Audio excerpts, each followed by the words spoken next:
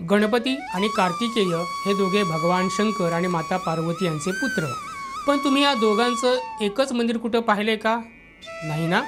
चला तर आज आपण बघूया भारतातील असंच एक दुर्मिळ मंदिर जे केवळ गोव्यात बसलं आहे मंडळी नमस्कार. तुम्ही पाहत आहात गोवन वार्ताची चतुर्थी विशेष डिजिटल मालिका मंगलमूर्ती मोर्या. या मालिकेत आपण बघत आहोत गोव्यातील समृद्ध वैभवशाली गणेश मंदिराच्या निर्मितीमागचा इतिहास.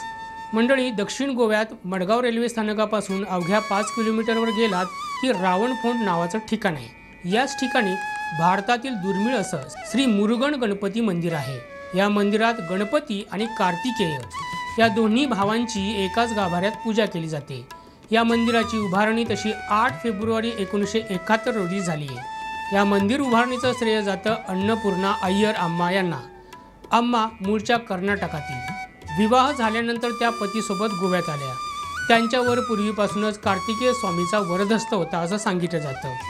त्यांनी कर्नाटकातील सांडूर जिल्ह्यातील कुमारस्वामी मंदिरातून आणलेली विभूती दिल्यानंतर अनेकांच्या जीवनातील संकट दूर झाल्याचं सांगितलं जातं.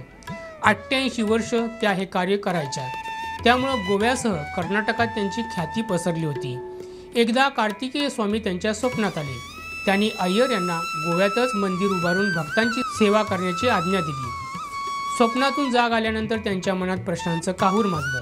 म्हणून त्या जांबावलीतील श्री दामोदर मंदिरात गेल्या. तिथं कौल घेतल्यानंतर तो दृष्टांत खरा असल्याचं उत्तर मिळालं. त्यानंतर त्यांनी लोकांकडून देणग्या गोळा करायला सुरुवात केली. शेवटी त्यांच्या प्रयत्नांना यश आलं आणि रावणफोंडमध्ये सुंदर मंदिर उभं राहिलं. या मंदिरात गणपती कार्तिकेय यांच्यासोबत नवग्रहांची नित्य पूजा होत असते. मंदिरात कार्तिक पौर्णिमा वगळता इतर दिवशी स्त्रियांना प्रवेश नसतो. या दिवशी भाविकांची प्रचंड गर्दी या ठिकाणी पाहायला मिळते. तुम्हीही दक्षिण गोव्यात पोहोचला तर या मंदिराला अवश्य भेट द्या. हा व्हिडिओ कसा वाटला ते आम्हाला कमेंट बॉक्समध्ये जरूर कळवा. तसंच हा व्हिडिओ जास्तीत जास्त शेअर करा आणि आमच्या यूट्यूब चॅनलला सबस्क्राईब करायला विसरू नका.